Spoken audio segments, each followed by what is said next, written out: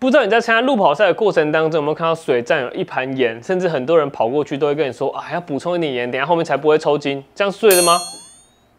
在教练角度呢，通常不会建议大家直接去拿盐起来吃，然后再配水，因为这样的渗透压可能身体没办法马上吸收，甚至在吃完之后，身体可能会进入一个有点失衡的状态，身体需要摄取更多水分才有办法达到平衡。所以我是不建议大家在参加马拉松的过程当中，看到补给站的盐就直接吃下去，因为这样帮助其实不大。会建议大家可以多吸收一些运动饮料或是电解质，会比较有效的可以维持身体的电解质平衡。从中医的角度来看，哈，其实吃盐没有什么道理啦，因为呃盐分在身体里面储存之后，它其实是会要更多的水分去把它中和。那以中医来讲，其实会堆积这些水分，就是会让身体储存一些湿气。那这个湿气反而是不利于你的运动的，所以我们是不太建议。